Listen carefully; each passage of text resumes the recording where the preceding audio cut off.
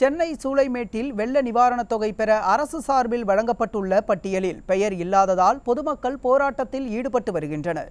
கூடுதல் தகவல்களை தலைமை செய்தியாளர் ஜெயக்குமார் வழங்க கேட்கலாம்.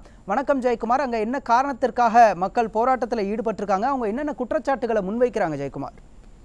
கண்டிப்பாக ராஜா சென்னை சூளைமேடு கலைமகள் தெருவில் அமைந்திருக்கக்கூடிய ரேஷன் கடையில் தற்போது பொதுமக்கள் போராட்டத்தில் ஈடுபட்டிருக்கிறார்கள். குறிப்பாக சென்னை சூளைமேடு கலைமகள் தெருவில் ரேஷன் கடையின் டிஏ பதினாறு என்கிற கடை இயங்கி வருகிறது. இந்த கடையில் ஏறக்குறைய சுமார் மூவாயிரம் அட்டைதாரர்கள் சுமார் வாடிக்கையாளர்கள் ரேஷன் பொருட்களை பெறக்கூடியவர்கள் இருக்கிறார்கள்.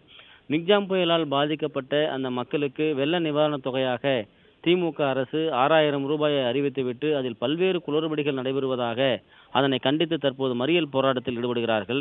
முறையாக தங்களுக்கு டோக்கன் வழங்கப்படவில்லை என்றும் அரசு வழங்கி இருக்கக்கூடிய வாடிக்கையாளர்கள் நுகர்வோருடைய அந்த பட்டியலில் புத்தகத்தில் தங்களுடைய பெயர்கள் இல்லை என்றும் கூறி இந்த போராட்டத்தில் தற்போது ஈடுபட்டு வருகிறார்கள்.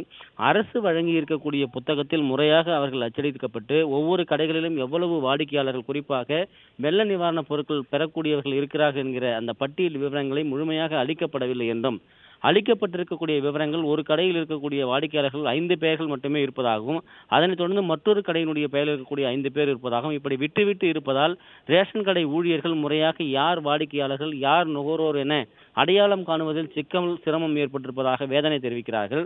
அதே போன்று இந்த நிவாரணத் தொகையை பெறக்கூடிய பொதுமக்கள் தங்களுடைய பெயர்கள் இல்லாததால் தற்போது மறியல் போராட்டத்தில் ஈடுபட்டிருக்கிறார்கள். வெள்ளத்திற்காக வடித்த கண்ணீரே பதினைந்து நாட்களை தாண்டிவிட்டது. தற்போது வெள்ள நிவாரணத்தை பெறுவதற்கு மேலும் கண்ணீர் வெடிக்க வேண்டி நடுத்தருவில் நின்று போராட்டம் நடத்த வேண்டிய மிகப்பெரிய அவலத்திற்கு இந்த விடியா திமுக அரசு தங்களை தள்ளி இருப்பதாக போராட்டத்தில் ஈடுபடக்கூடிய பொதுமக்கள் வேதனையோடு தெரிவிக்கிறார்கள். குறிப்பாக ஒரு நிவாரணத் தொகை என்பது முறையாக வழங்க வேண்டும் என்று நீதிமன்றம் அறிவுறுத்தியிருக்கிறது.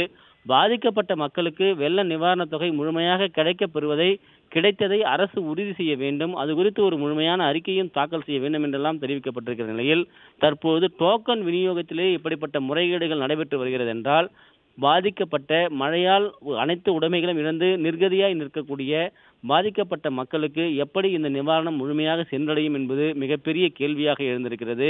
தற்பொழுது பல்வேறு இடங்களில் போராட்டம் வெடித்திருக்கிறது.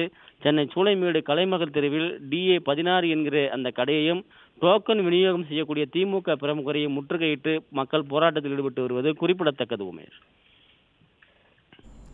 நிவாரண பட்டியலில் தங்கள் பெயர் இல்லை என மக்கள் போராட்டத்தில் ஈடுபட்டிருக்கின்றனர். இது பற்றிய கூடுதல் விவரங்களுக்கு நன்றி ஜெயக்குமார்.